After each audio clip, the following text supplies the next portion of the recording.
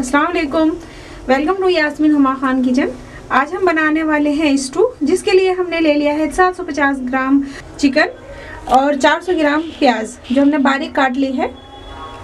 साढ़े तीन सौ ग्राम टमाटर हैं हमारे। ये ज़्यादा सुराख ना लें हरे हरे लें और दो दो बड़े चमचे ginger garlic paste half teaspoon turmeric powder और हाफ़ टी स्पून हमारी है ये सौंफ, साबुत सौंफ और एक टी स्पून साबुत धनिया। दस बारह ये पीली मिर्चें हैं साबुत और दो बड़े चमचे कोरिएंडर पाउडर। सात आठ हरी मिर्चें हैं, दस दस बारह लौंगे, आधा चम्मच काली मिर्चें छः हरी इलायची, एक बड़ी इलायची और दालचीनी, जावित्री, जायफल। तीन बड़े तीन पत्ते तेज़पात के। एक बड़ा चमचा हमारा सॉल्ट है, इसे आप अपने टेस्ट के हिसाब से भी ले सकते हैं। 200 हंड्रेड एम ऑयल है। फिफ्टी ग्राम हमारा दही है। ये भी हम इसी में डालेंगे।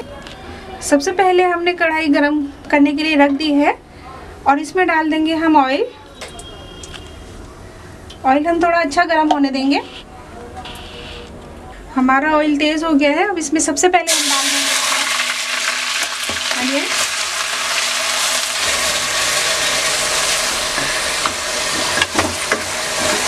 एक दो मिनट हम इसे इसी तरह से भून लेंगे। ज़्यादा सुरख भी नहीं करनी है ये, बस हल्के से नम हो जाए।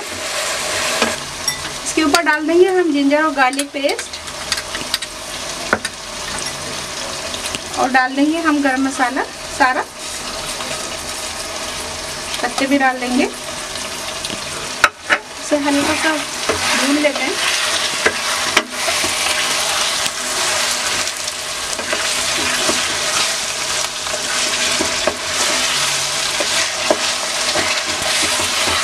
डाल देंगे मसाले। ये मिर्चों में ये मिर्चों के दो दो पीसेस कर लिए हैं मैंने साबुत मिर्चों के और ये सौंफ को हल्का सा कूट लिया है, सौंफ धनिया। और बाकी सारे मसाले हम इसमें इस वक्त ऐड कर देंगे।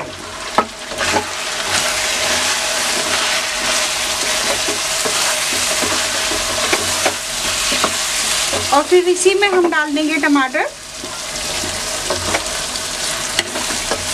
तो भी अच्छी तरह से मिक्स कर देंगे। करीब एक मिनट अच्छी तरह भून के पाँच दिन से खुला ही पकाएँगे, क्योंकि चिकन बहुत जल्दी गल जाता है।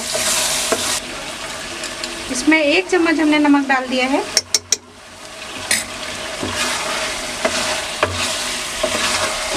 कम से कम हम इसे 10 मिनट खोल कर ही पकाएँगे, क्योंकि चिकन हमारा गल जाएगा और इसके टमाटर वगैरह सारे गल जाने चाहिए, तब तक हम इसे पकाएँगे, मगर खोल कर ही पकाएँगे इसको।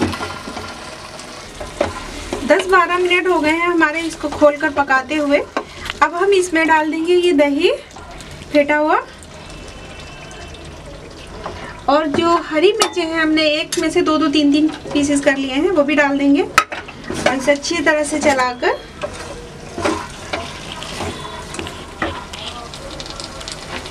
ये डंडी समेत हमने हरा धनिया काटा है, वो भी इसमें थोड़ा सा डालेंगे। और इसको चलाकर अच्छी तरह से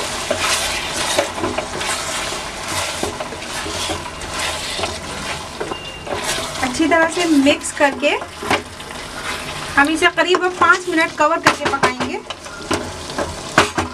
बिल्कुल स्लो फ्लेम पर।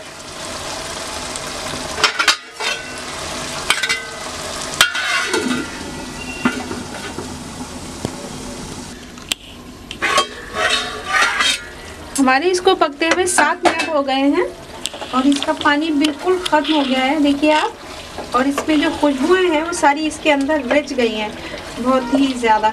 अब इसमें हम, ये पक गया है। अब इसमें डाल देंगे हम थोड़ा सा गरम मसाला पाउडर और थोड़ा सा हरा धनिया डालकर इसे डिश आउट कर लेते हैं। चिकन स्टू बनकर हमारा तैयार है। ये बहुत ही मज़ेदार और बहुत अच्छा बना है। इसके रिलेटेड अगर आपको कुछ भी सवाल हो तो आप कमेंट बॉक्स में जाकर कमेंट कर सकते हैं। और मेरे चैनल को लाइक शेयर सब्सक्राइब करना मत भूलिए। और मैं एक नई रेसिपी के साथ फिर मिलूँगी। एक नई रेसिपी के साथ हम फिर मिलेंगे। तब तक के लिए take care and bye bye